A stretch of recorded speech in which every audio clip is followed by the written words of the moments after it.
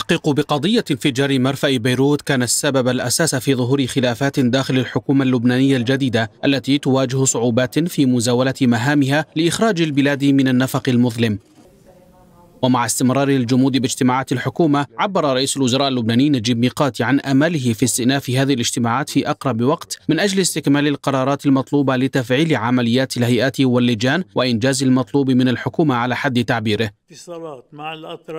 من جانبه تحدث الرئيس اللبناني ميشيل عون أيضا عن أهمية استمرار التحقيق القضائي بشأن انفجار مرفأ بيروت ورفض التدخل السياسي فيه.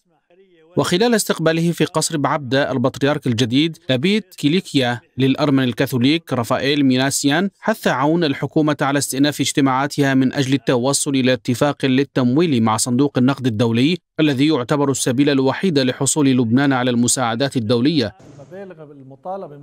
وكان وزير الاقتصاد أمين سلام قد صرح في وقت سابق يوم الجمعة الماضي أن الخلاف على التحقيق بشأن انفجار مرفأ بيروت كلف لبنان وقتا ثمينا في التعامل مع الانهيار الاقتصادي.